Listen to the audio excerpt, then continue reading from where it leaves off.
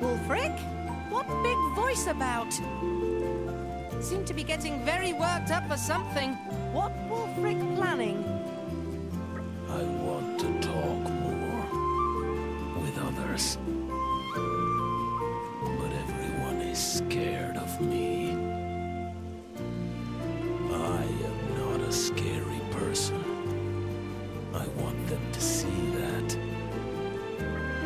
Wulfric is kind blade who doesn't even crush ants on path. Yeah, good thinking. Chat to people a bit more. Let them see the real you. Maybe talking hard for Wulfric, though. Growling more normal for him. Yes, everyone runs from my voice. That is the problem. How can I fix this?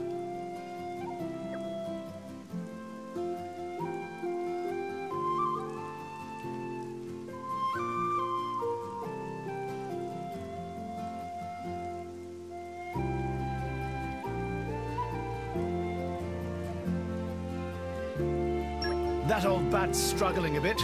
Why don't you go and help her out? Very good. Maybe if Wulfric does nice thing for someone, people know Wulfric nice. Tora will tag along. Yeah.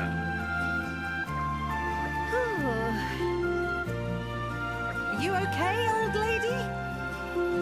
Oh, I've been trying to get back home, but my knees are right done in. My eyes aren't up to much either. If I get a bit out of breath, I can't see a blessed thing. Oh, uh, madam, let me help you. Oh, thank you so much, young man. I'm much obliged. Okay to walk? Yes, I think I can manage that.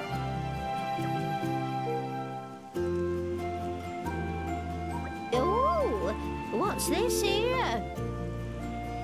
Funny place to put a rock. Uh, no, that's part of my body. Oh, my! What a burly gent I'm getting walked home by. The neighbours will be talking. Madam, watch your step. What the bloody hell's that thing? A bloody monster's what it is. Oh, sounds like there's a bit of a commotion. It is nothing. Just some monster. Oh, I don't like the sound of that. Let's get home quick. Do not worry, madam. I will protect you. Oh, my hero. I don't doubt it. This is where you live? Yes, this is my humble abode. Thank you so much, young man. Will you tell me your name? I am Wulfric. Oh, that's a funny name. but thank you, Mr. Wulfric. Ah, you are most welcome. Whoa, you're in there, dude. Did you get her number? But seriously, that was good going, man. More of that, and they'll make you a saint or something. Yes, I must keep being nice. Keep being kind. Everyone, thank you